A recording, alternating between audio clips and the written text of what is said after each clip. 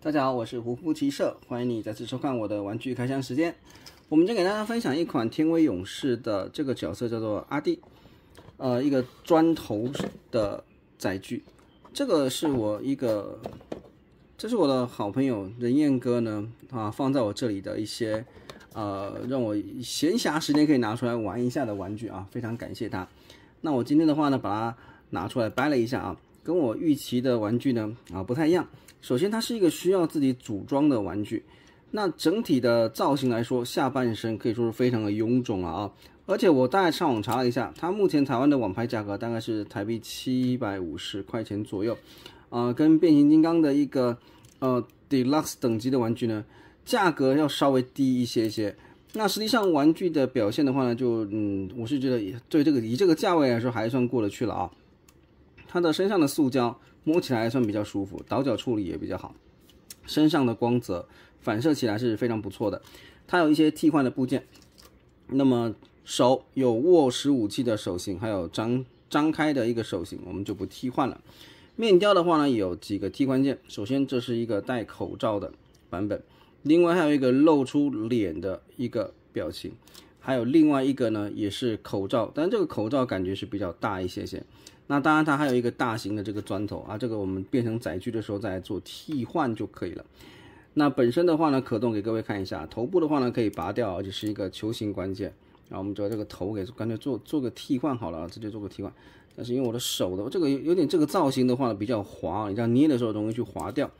那我们把它换上一个漏嘴的版本。那手臂三百六十度的转动，呃，喷溅了啊，这个。这个自己组装的东西果然还是会稍微有一点点掉件的感觉。然后肩膀这个部件的话呢，你要稍微这样子推平一点点，手臂的话呢才能够达成一个平举。二头肌可以转动，手肘弯超过九十度一些些。拳头的话呢可以做一个转动啊，毕竟它是一个替换的一个手型嘛。然后腰身可以转动，这里还有一些小小的空间可以搓动啊。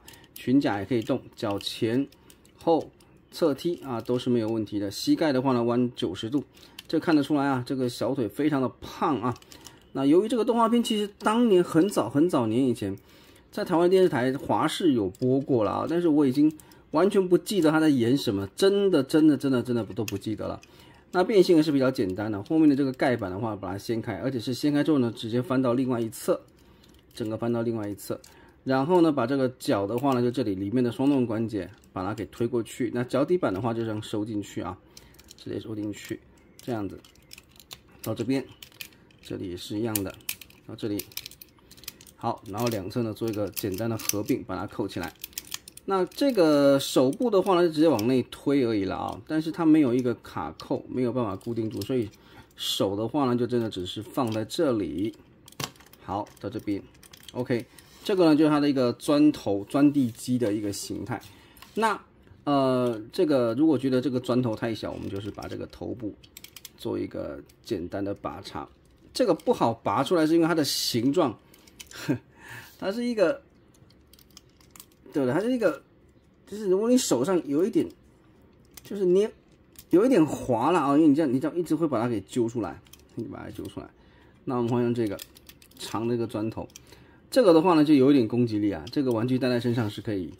可以去抢劫的啊，当然千万不要这么做啊！到时候新闻又爆出来说玩玩具呢会造成抢劫的倾向，然后从哪学来的？从看护补给车的节目来的，那我就完蛋了啊！好了，来看一下它的基本载具，下方的话呢虽然有履带，但是没有轮子啊，不过也很合理啦。砖头的话呢你自己要转动，当然是也可以做出这个效果。